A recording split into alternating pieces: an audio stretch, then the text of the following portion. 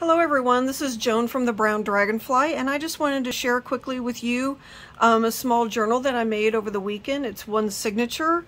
I used um, papers, um, digitals uh, from Lina at Junk Journal Craft Lina. Um, it is a yellow group of papers that she has and they're really, really pretty. Um, and then I took some um, parts of the papers to make cards um, to add in also. Um, for this cover, I used some Amazon packaging, a piece that I had left and folded in half. Um, it is the kind that has the little styrofoam pieces inside. So um, I covered it with some brown packing paper and then I went around the top and just um, had a piece that I folded in half and just on each side I, you know, put it around, you know, to cover up and close the edges. Um, I used, um, it's not Mod Podge, but it's a version of it um, to cover it and just give it a little bit of extra strength. And then did that on the outside and the inside. And once that dried, then I did sew around with this um, kind of teal blue um, thread. Um, I did some a corrugated piece on top with this is um, one of the from one of the pages um, in the kit.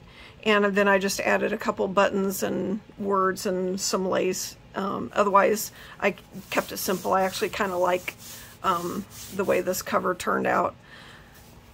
Then on the front and back I added this gold um, fabric with some lace to have a pocket at each end this is a very simple journal. It just has some, the digitals, and then it has um, some coffee dyed ledger and um, notebook paper. And then also, um, I had a bottle of ink left over from my printer um, that just had a couple drops of yellow in the bottom.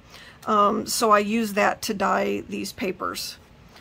So I will show you these first, and you will see as we go through that the um, pages have these ladies on them I just think are absolutely gorgeous. So I just shrunk it down a little and then I just cut these scalloped edges according to where the lace was to make a card and I back them on the yellow dyed paper. These are also um, from different pages in the kit just so there's a couple of cards you can use to write on. And then I'll just show you the pages really quick. They're just really pretty.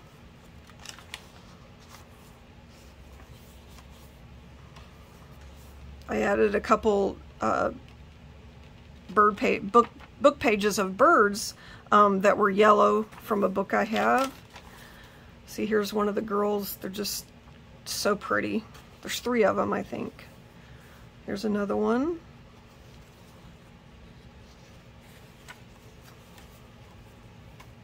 This would be great for either writing in the middle or putting a picture in here. Here's the center, and I just, where I um, tied in the signature, I just added a dragonfly.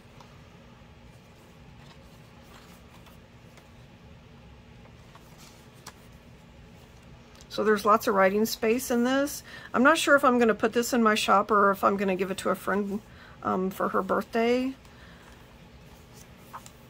Or keep it for myself. You never know. Yeah, and here's the other one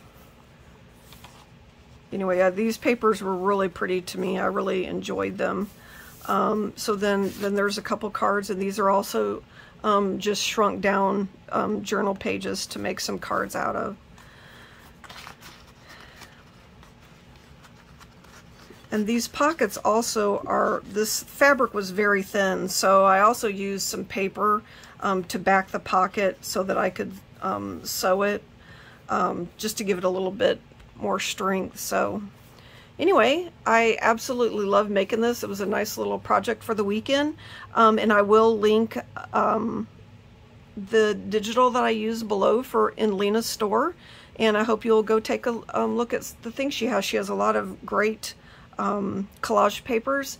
And um, I hope you'll take a look. So thank you for looking. And um, I will see you again next time. Thank you so much. Bye.